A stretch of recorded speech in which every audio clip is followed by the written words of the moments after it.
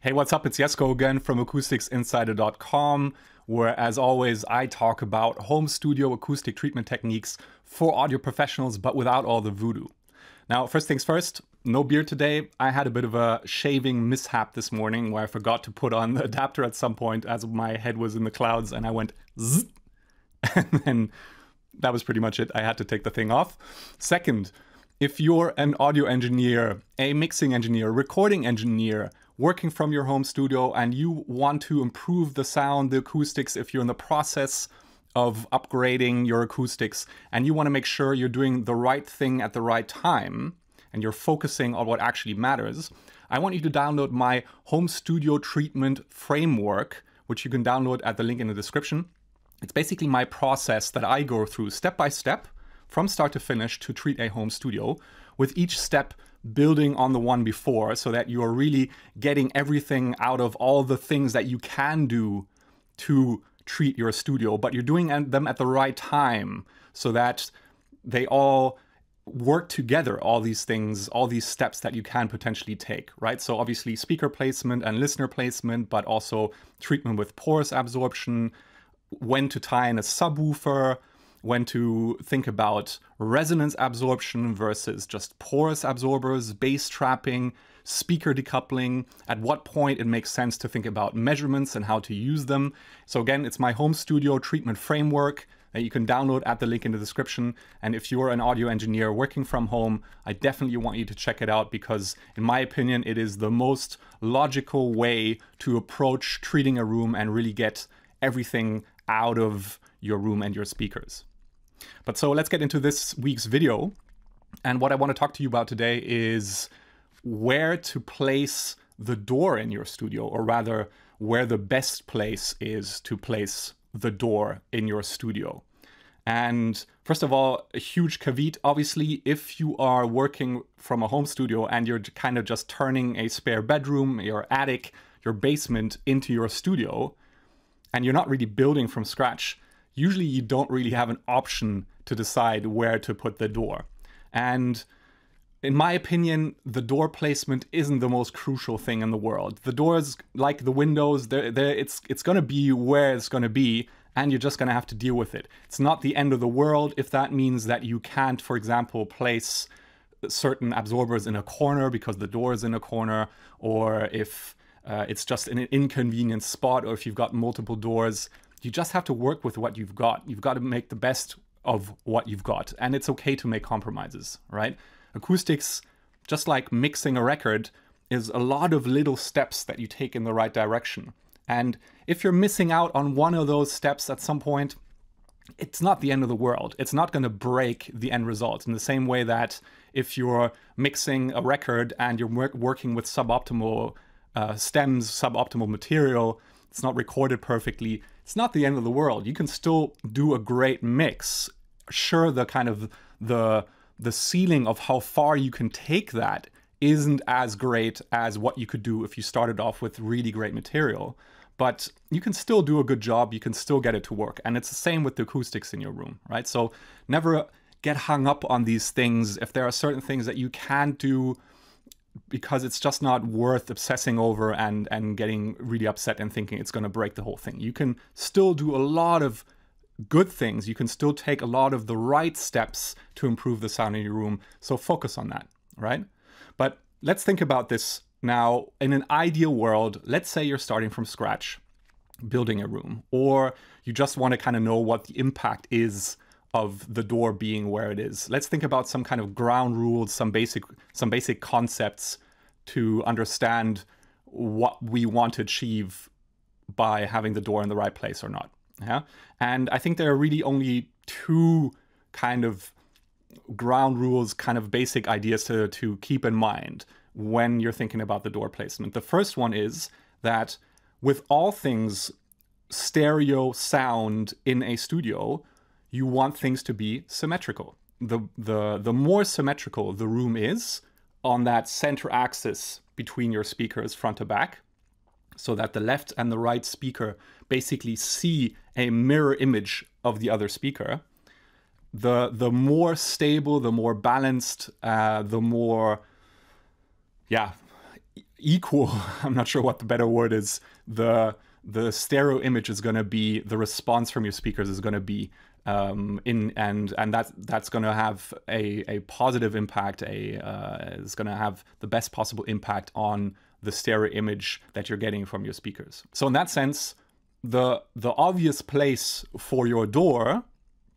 is going to be on that center axis, either in the front or in the back, right? Because that's what's going to make the room symmetrical. So I'm not sure if you can see it here in my room, but there's uh, in the image just in the corner, you can see the, the door handle of my door and my door is basically right in the middle of the back wall in my room. And it doesn't really make sense to have the, the door in the front, even though that is in terms of symmetry an option, because there's so much happening in terms of reflection, as we'll look at in a second, in the front of the room, that uh, you don't really want to block the option to treat parts of the front of the room around your speakers because you're you have a door there right? At least in a home studio scenario all right where you really need to work with speaker placement and lis listener space placement uh, to the best of your ability yeah? So this doesn't really apply to really high-end studios where you might flush mount the speakers in the front wall for example because then you can you can actually put the door in the middle of the speakers in the front wall because there's not really much happening there. But in your home studio where you have your speakers placed on speaker stands at some some distance from the side walls and the front wall, uh, there's so much happening in terms of reflections that you don't really want to lose that opportunity to do treatment there because you have the door there, right? So those are kind of the two rules, right? So keep your symmetry if possible and don't waste or don't block an opportunity to deal with reflections. So let's have a look at that, right? So here's I, here's an example of a, a, very simple floor plan of a room, right? This square box here is just kind of the outer four walls of the room. We're looking down at it. By the way, this tool is the Amray Ray Tracing Sketchpad, which is a great tool to mess around with, as you'll see in a second, and I'll link it as well in the description. And what I've got here is the these four walls. I've got a speaker placed somewhere in the room. I'm just going to kind of try and get a, a, a, uh, something that resembles an equilateral triangle here with the speaker placement. We've got our listener placed symmetrically between left and right, right on this on the center axis of the room. And I've set this up to only show us first order reflections, which are basically early reflections. Okay. And so what you can see now is where these reflections would happen on all these walls if our speakers and our listener are placed like that, right? And already we can see, obviously, we've got our, our reflections on the front wall, on the side walls, on the back wall. And if you look at this, the reflection on the back wall actually happens almost in the middle of the room. Yeah, so this is something where ideally you would say, well, maybe then that placing the door there isn't a great option, yeah, because the reflection happens happens there. In my opinion, this isn't too much of a problem as long as the, the back wall has some distance to your listening position because that reflection is going to be delayed by quite some time. If you actually you can actually see it down here, it tells that that this tells us that this reflection is delayed by roughly 23 milliseconds, right? So it's it's just outside what you might consider kind of the the the air, the the time frame in which early reflections happen. It's also going to be lower in volume because it has to travel further, so that impact of that reflection isn't as high. All right, so that's why you you you might want to put put your door right in the middle uh, of the of the the center axis of your room on the back wall. But uh, an even better idea might be to put it on the side wall in the back of the room, right? Because there's really not much happening on those side walls in the back of the room. Yeah, so we're breaking symmetry at that point. But hey, at least we can now use the whole back wall for treatment, right? And even if we increase the order, reflection order to two, so now we've not only got reflections bouncing off of one surface, we've got reflections bouncing off of two surfaces. Yeah, we can see that for this one speaker, there is obviously a reflection happening sort of in the back on the side wall on the side of that speaker, but the other side is kind of free, if you will. See, if we place the speaker there, that whole idea is going to, whoops, that's the listening position. If we place the speaker, if we look at the other speaker in this scenario, is obviously going to be mirrored. So it, I, it doesn't really, there's really no, there's, it's always a compromise, right? There's no best case scenario here. Um, and obviously, if you move the speakers around, if you end up with a situation where the speaker is really close to the front wall, you can see how those reflections move. And then there's always going to be a, a compromise here. You're never gonna you're never gonna find that perfect place for the door. But in general, it's going to be somewhere in the back of the room. Yeah, in my opinion, the best place is going to be somewhere on the side walls because that's where kind of the the least important reflections happen in in a typical square stereo square room stereo setup. Okay. Now, one more thing actually, now that I think of it, is you don't really want the, the door in a corner. As you can see here, corner reflections are kind of a nasty, nasty thing. They tend to reflect sound right back in the same direction where it came from. And I actually consider these first order reflections, even though even though they bounce off of two surfaces. But I found at least uh, these two to sometimes be very prominent in in measurements. So they they to, to me they count kind of as as first order reflections.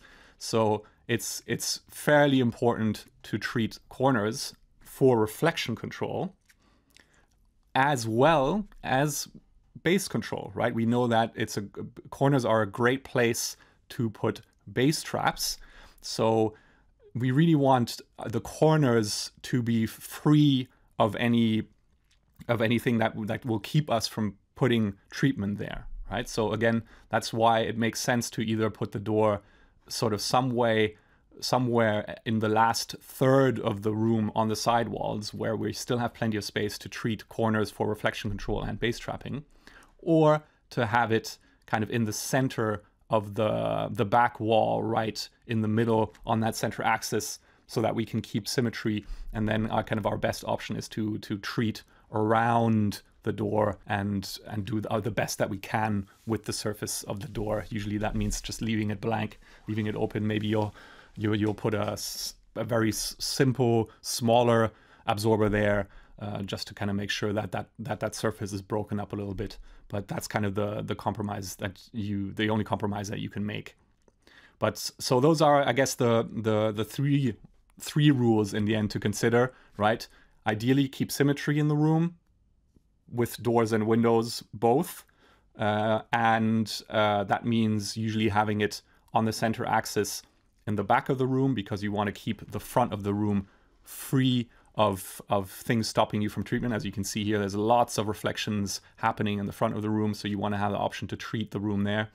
And in my opinion, uh, an even better place in a typical home studio would be on the side wall because that way you can uh, you can use the uh, on the on the side wall in the last third of the room because that way you can you can use the entire back back wall for treatment if you if you want to and uh, the in my opinion the kind of the least important reflections really happen here on the side walls in the back of the room, even though reflections will happen there as well, depending on your exact speaker and listener placement, right? So that's kind of why, how I think about door placement in a room, ideally in the back, either in the center or on the last third of the room.